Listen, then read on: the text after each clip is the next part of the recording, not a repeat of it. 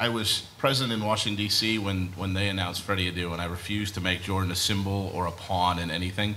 Um, and so I'm not, you know, time will tell. We'll see. That was Seattle Sounders president Garth Lagerwey talking about new signing Jordan Morris, the 21 year old starlet whose talent has already been hyped tremendously. It's a good approach. U.S. fans certainly don't want to see Morris turn into another Adu, but almost immediately after that statement was made, this happened. Okay, come on, guys. Really? Landon Donovan summed it up best, tweeting, He may have a better chance at a successful career if you don't compare him to Messi the day he signs. Hashtag just saying. Good advice, LD. Unrealistic expectations won't help anyone.